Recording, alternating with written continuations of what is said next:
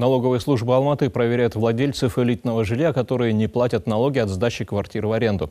О каких суммах идет речь и какое наказание грозит нарушителям, расскажут мои коллеги.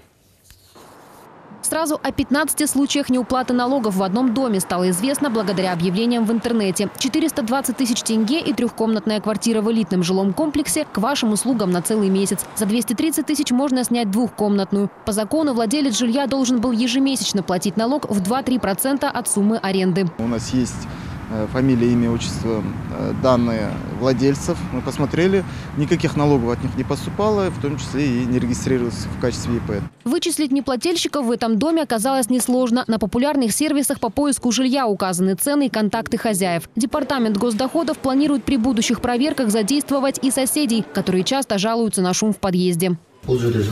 Этот информационный лист предназначен для арендодателей и для их соседей. Он напоминает о том, что необходимо зарегистрироваться в Департаменте госдоходов.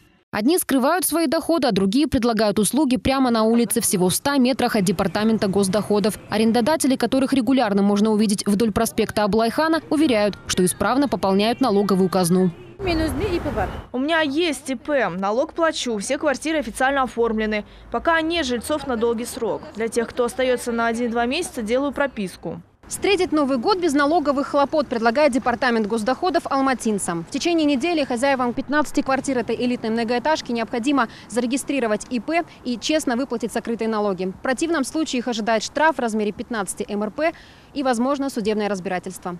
Полина Чехичина, Ерлан Абжанов. Итоги дня Алматы.